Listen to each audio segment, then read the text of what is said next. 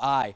And as it moved across our area, produced obviously those really strong winds and extremely heavy rainfall. In fact, take a look. One of the reasons why it was able to become a Cat 5 in October is water temperatures were at record levels in the Gulf of Mexico. In fact, two to three degrees Fahrenheit higher than they would typically be. And this is called the Climate Shift Index from Climate Central, and they determine just how much more likely climate change made these particular temperatures, this warmth of temperatures. And they found that climate change made the water temperatures 400 times more likely today than, let's say, back in 1900. And that obviously fuels stronger hurricanes. So let's talk about the connection between climate change and hurricanes. Warmer air and warmer water amplifies rainfall. A study came out and found that in Helene, it was up to 50% more rain climate change. Hotter water leads to more rapid intensification.